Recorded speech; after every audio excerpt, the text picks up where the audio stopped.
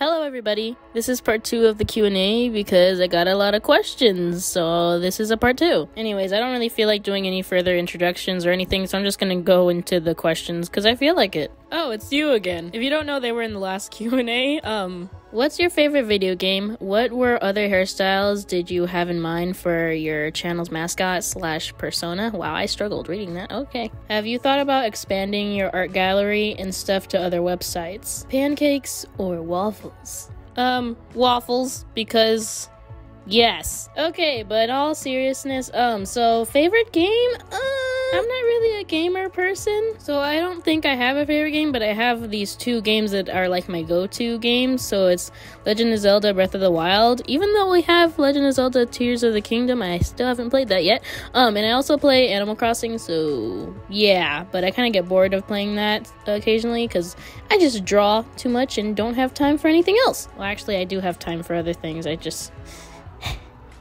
I don't want to talk about it. And for the second question with uh Pink Ink's hairstyles, um, she's always had like pigtails. This was literally the first drawing of Pink Ink ever. Well, actually, no, that was a lie. This was the first drawing, but this was like a year before I actually started my like channel. And for the last question, I used to post on Instagram, but I don't really post there anymore. And currently, I don't think I will make another channel or anything else. I think I'll just stay on YouTube for now. I don't really think I'll move on to any other places um, unless like there's a reason. But currently, no. I think I'm just gonna stay on YouTube for now. B underscore arf. Uh, okay. Their question is. How old were you when you became serious about art? I want to say 11, but that's like when I started like hardcore drawing and like making characters and stories. So I want to say 11. Alyssa Lob 5033. I hope I said that correctly. Like I said in the first video, um, sorry if I butcher any of your guys' names. Anyways, their question is what is one of your favorite childhood memories? What movie makes you cry? Makes or made? Do you like abstract art? Hmm, I don't know about favorite childhood memory, but this is a childhood memory. I'm still technically in my childhood though. Mm. But I remember um, I woke up in the morning and I went to hide from my mom because I didn't want to go to kindergarten. I'm like, no. So when I was younger in my room, I had like this little like crate thingy where all my toys were in, and I just crawled into there and hid from my mom. And she went looking for me, and I literally saw her, but she didn't see me because I was inside the toys. I'm like, dang, this is the best disguise ever. But after a while, I kind of felt bad because I kind of like felt like she was getting frustrated. She's like, "Come out, Nyla! Like, we need to go." If you didn't know my name, like my real name's Nyla. so yeah, basically, I hid from my mom inside some toys because I didn't want to go to kindergarten. Wait, was it kindergarten? Or- no, it wasn't kindergarten. It was pre-K. Pre-K. I can English. I don't really like cry when I watch movies or TV shows, but I am embarrassed to say when I watched the second to last episode of Steven Universe, um, no, actually, Steven Universe Future, I did cry a little bit. I don't like crying because I feel like it's kind of silly, um, in my opinion. I don't know. I just.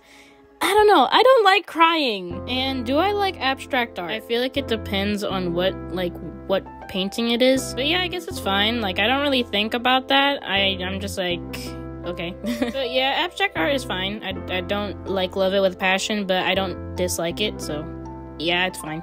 Content Controller 3530's question is not really sure why I said it like that. Um, can we see your oldest art ever? I don't know about oldest art ever because I don't know if I have it, but I can show you a drawing that I drew in first grade. This was from my first grade um school because I used to go to school. Um, I like my singing monsters. I like my singing. Why did I write that twice?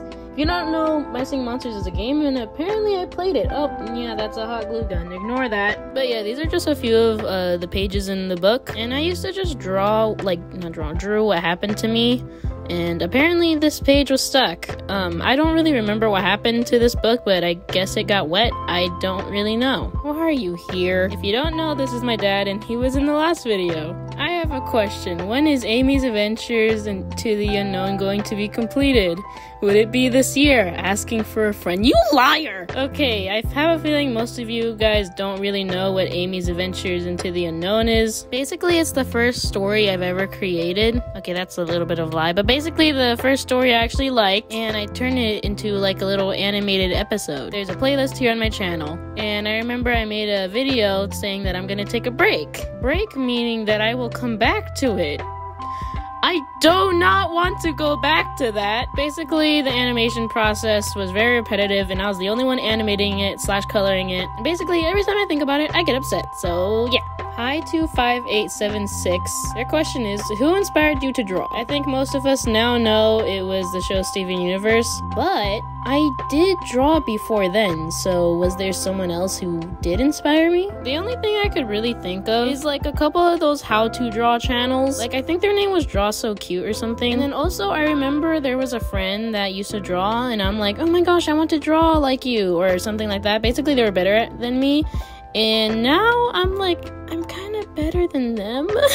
it's a little secret between you and me, though, so don't tell anybody. IH or LH, I don't know, 2919. Their question is What's the story behind your OC? All from headcanon and actual creative process. So I asked them which OC, and they were talking about my character Pink Ink. So I think I might make like a whole separate video for that. I don't know, don't hold me to it. But the to sum up the uh, question question i can speak. Basically at the time of me making her i just made her like i drew her as everything i loved drawing at the time.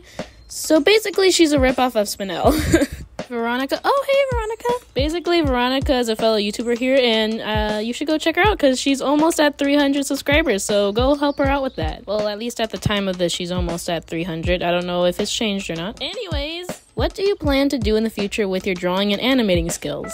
Is there a job or a career path you want to take other than something related to art? I really struggled reading that. Okay, that is actually really good question. So, I have a plan for my art. One day I want to be able to make like a little indie animation thing. Basically be my own boss in the sense. Um and I just want to make some of my stories into like a little animated cartoon show. I feel like that's the dream for a good amount of artists. But basically, I just want to make my characters become alive in the sense and make them voice acted and they can move and stuff, and that'd be so great. I have previously tried with Amy's Adventure into the Unknown, but it is so flippin' hard doing it all by yourself. So I hope one day in the future, um, I will be a good boss and probably hire some other people to help me animate and also voice act, and that'd be so cool. But also, I have to think realistically, like, how would I do that? So just for now, I'm trying to get as good as I can with art and animating and trying to figure out, not figure out, but like learn all the principles of animation. So basically, I'll learn all that now so I don't have to learn it when I get an like get an adult, become an adult.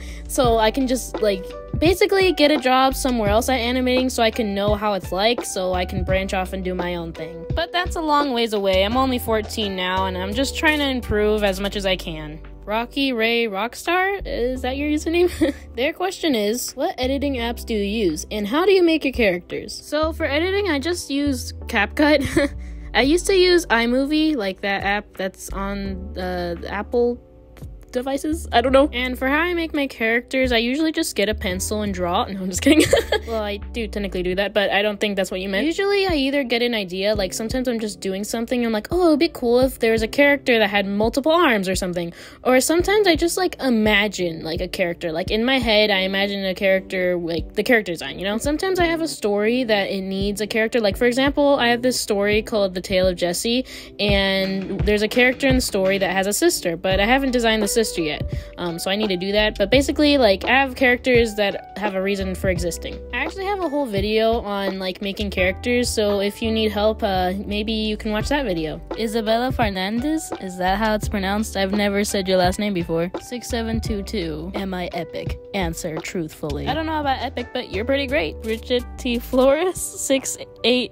6814? I don't know. Which one of your OCs is your favorite? Okay, there's two top tier characters that I have. So those two characters are Sylvester and Chester, and they both have ER at the end of their names, which is kind of funny. But Chester beats Sylvester mostly because I've had him longer and he has more messed up stuff in his story. and that question also leads on to the last and final question. DJ Thenerd, I've never read your username out loud before. Oh, and by the way, they have their own YouTube channel as well. You know, gotta support those small creators wait, I am also a small creator. What am I talking about? Basically, go check them out and show them some love. Anyways, to the actual question now. What's your most tragic OC backstory? Oh my gosh, that's hard. Oh, really quick, this is really unrelated to the question. But I remember one person a long time ago asked me what OC means. And I said it meant original character. So I just want you guys to know if you have a question and you feel like it's a dumb question, it is not a dumb question. Just ask me. Anyways, so when I saw that question, I was thinking long and hard. I'm like, oh, I have a lot of characters with like trauma and stuff. But basically, I summed it down to Chester and Sylvester. so I feel like which one has the most tragic backstory?